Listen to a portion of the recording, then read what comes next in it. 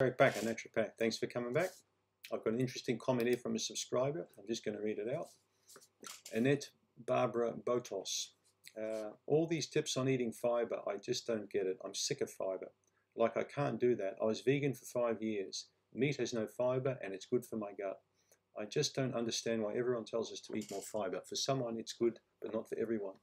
So this is quite an interesting comment here. So here we have a, a, a, person who is a vegan for five years, but has flipped across now to meat and is saying that, that fiber is not really great because meat is good. I think um, in this case, you want to look at a careful balance of both of those things.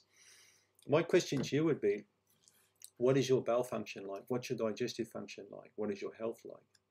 Uh, resistant fiber is a little bit different from normal fiber in that it bypasses the small bowel to a degree and ends up in a large bowel where proper fermentation occurs.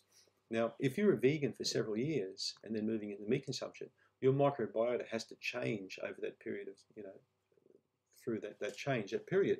So people who eat no meat, who go to meat consumption, are going to get a big change in some of the major groups of bacteria in their gut. All right.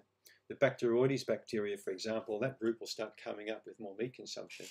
So the Prevotella uh, bacteria group uh, may lag a little bit behind because with vegans they tend to be a little bit higher uh, that group. So you're making major changes in your gut bacteria by doing this diet.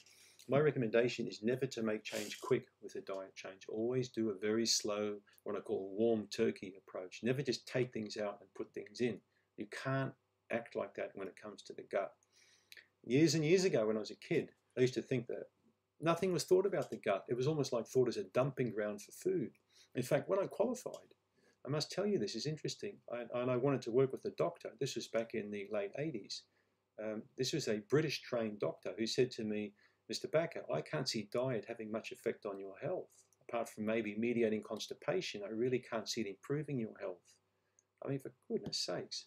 It's a huge, huge, huge um, you know, paradigm shift since then. So fiber is exceedingly important when it comes to your health.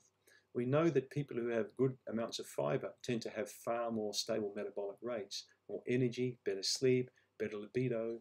Uh, also, they don't have accelerated aging because there's an anti-aging sort of a mechanism that comes along with a good microbiota.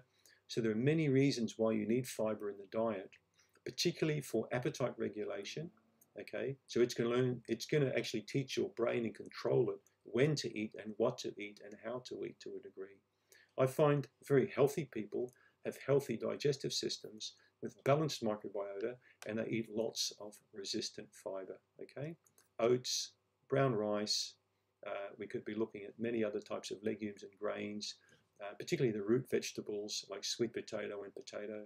So a good thing for you to do, for example, if you're not currently eating sweet potato, would be to incorporate it into your diet once or twice a week, just a small slice of it, cook that, uh, or you could cook a large sweet potato, cut it up, and you actually have it cold and cook it the next day.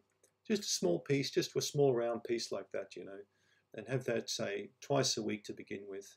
And watch what happens to your gut over time, all right? It will calm down. But putting too much fiber in can definitely cause constipation, diarrhea, gas, or bloating for a lot of people. So never, never make change quickly when it comes to fiber. But I can assure you, fiber plays a fundamental role in health. You may be sick of eating it, but you can't live your life just consuming meat all the time. Because meat consumption has been linked with many cancers now, particularly red meat has been linked. In England, several years ago, people were recommended not to eat any more than 10 ounces of red meat in one week, not in a day, in a week. Okay, and that recommendation came from the top based on multiple scientific studies, uh, you know, European studies uh, and US studies. Now these, these people aren't fools. They know that you need to be careful. So that's my caution to you out there if you're a meat consumer is don't consume too much red meat. Look at other forms of protein. Fish, fresh fish is a superior protein, free range eggs, but just be careful. So balance your diet with reasonably good amounts of fiber, but don't neglect the protein. But you need to work out how much protein is suitable for you. I've worked out what my consumption is, what suits me. You need to work that out, but just don't load your plate up with too much meat. Thanks for tuning in and thanks for the question.